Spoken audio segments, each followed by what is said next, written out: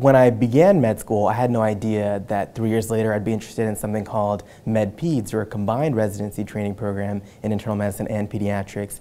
And to subspecialize in a fellowship, my interest is actually adult congenital heart disease, which is a really narrow specific field that most folks outside of medicine have never even heard of. I think from other people I've talked to before going to medical school, a lot of people seem to be very stressed out and um, they still enjoyed medical school, but it seemed to be um, almost cumbersome at times for them.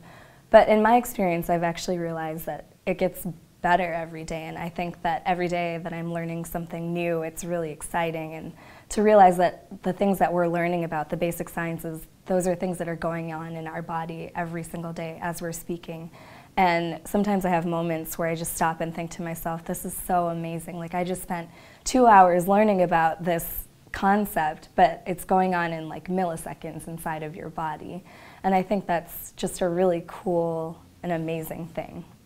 So the biggest advice I we have um, big siblings kind of with a second year, so we have a really good relationship with the class above us. Um, and one of the best pieces of advice when I started was just be very humble. Um, you're never going to know everything. Like there's no way that you can catch all that water from a fire hydrant in your mouth. Like there's no way that you can drink that much water at one time without exploding.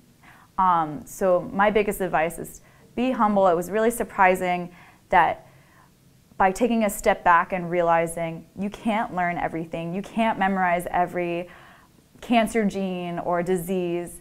Um, it really requires a lot of repetition and work. And if you put in the work, it works out a lot. Um, I've had a really good balance of being able to study, not studying all day, all, all day, every day. It's not like that at all. It's I have my time to study and I have my time to have some time for myself. And that makes me a happy student, which makes me very successful.